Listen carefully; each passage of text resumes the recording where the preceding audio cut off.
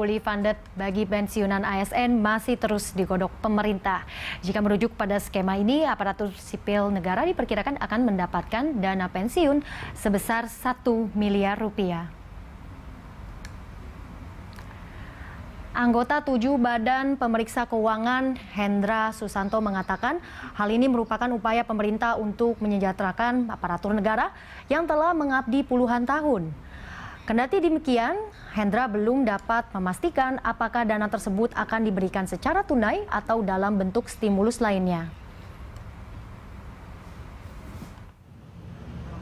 Bisa jadi stimulus-stimulus, kemudahan-kemudahan, bisa jadi kan satu miliar itu bisa jadi uh, paketnya beda-beda. Misalnya anaknya sekolah gratis misalnya gitu. Kemudian uh, yang bersangkutan pensiunan istri atau suami keluarga ya, ya yang ke ring satunya katakan anak istrinya berobat gratis misalnya gitu kan mempunyai asuransi misalnya, atau dia mungkin nanti naik public transport gratis itu kan bisa terakumulasi dalam nilai satu miliar itu gitu. atau mungkin dia juga uh, uh, uh, uang pensiunnya itu kalau sekarang kan 80% dari gaji pokok misalnya.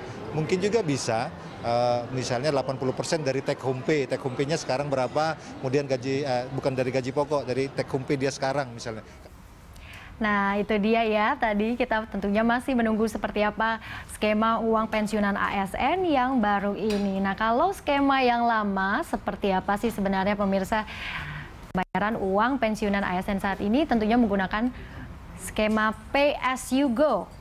Dananya dari hasil iuran sebesar 4,75 persen dari gaji yang dihimpun Taspen.